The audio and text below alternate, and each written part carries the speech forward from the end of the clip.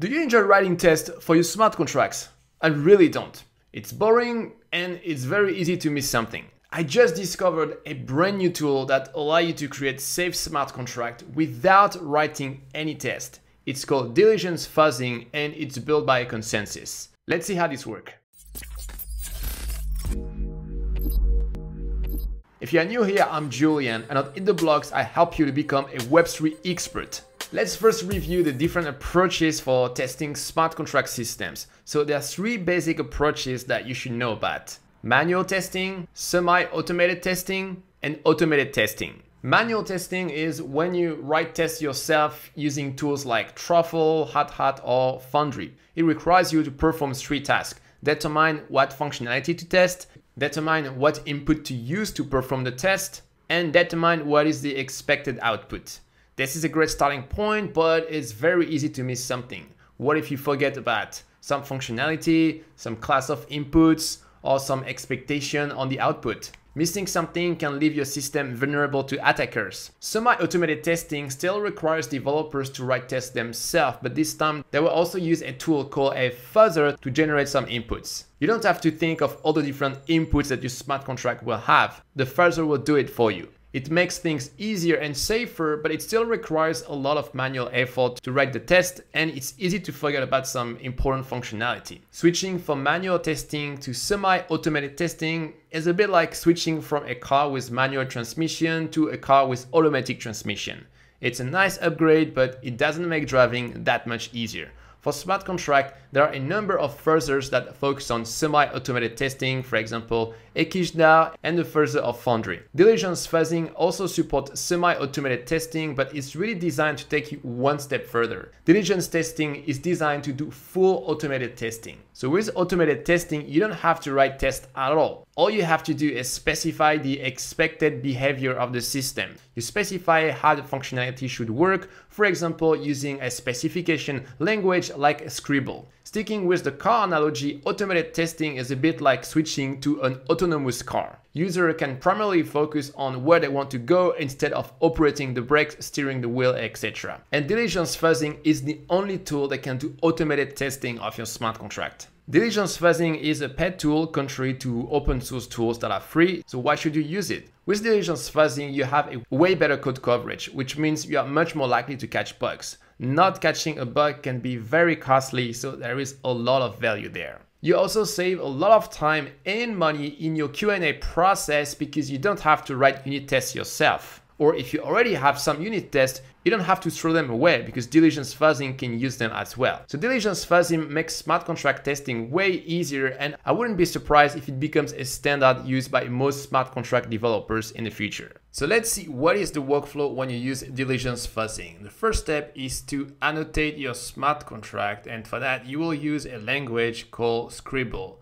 These Scribble annotations will define properties of your smart contracts like invariants. The next step is to transform the annotated smart contract into what we call an instrumented smart contract. This is basically a modified version of your smart contract that contains some extra Solidity code that tests each property that you specify in your annotation. Next, we will deploy the instrumented smart contract to a local Ethereum node using a deployment script. So we refer to this state as the seed state. Next, we will extract the seed state from the local Ethereum node and send it to the diligence fuzzing API. And on the diligence fuzzing API, the fuzzer will try to generate lots of transactions on your smart contracts with the goal of covering as much code as possible. And at the end, you will have a report in your dashboard that tells you if any of the properties that you define failed. So that's the high level overview of how fuzzing works with diligence fuzzing. And next we will see a specific example with an ERC20 token. So first you have to install Node.js and Python 3. Then you have to create a free account on diligence fuzzing. So you have to create an API key and you also have to activate your free trial. And after that you go in your terminal and you need to install this Python package and you also need to install this npm package that's for Scribble. And you are going to download this example from GitHub. So you go in the directory, then we run npm install to install our Node.js dependencies. And next we are going to open our code editor and go in the code of the ERC20 token that we are testing. And we are going to add a scribble annotation. So here we are basically saying that the sum of all the balances of the contract should always equal the total supply. So that's what we call an invariant. Then you need to paste your API key in this configuration file.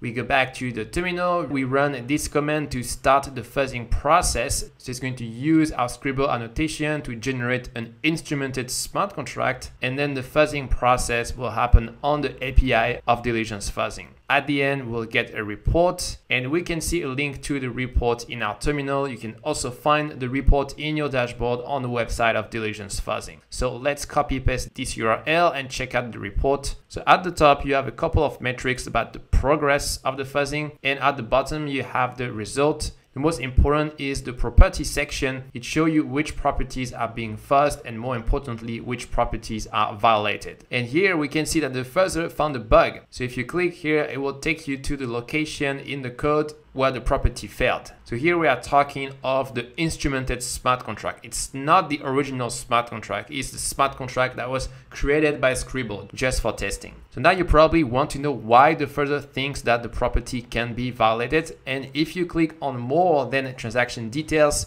you can see the transaction that triggered the error. Do you notice something odd? The sender and the receiver of the token is the same. So in other words, there is a vulnerability when someone sends tokens to themselves. So go ahead and check out in vulnerable ERC20.sol to see if you can figure out what's going on. So now you know how to quickly test your smart contracts by using diligence fuzzing. It will make you way more efficient compared to other developers that don't use these tools. So I would strongly recommend to invest some time to experiment with it. And the next step is to go create your free account on diligence fuzzing. Even though this is a pet tool, they also have a free trial that you can use to experiment. So that's it for this video. Thanks for watching. See you next time.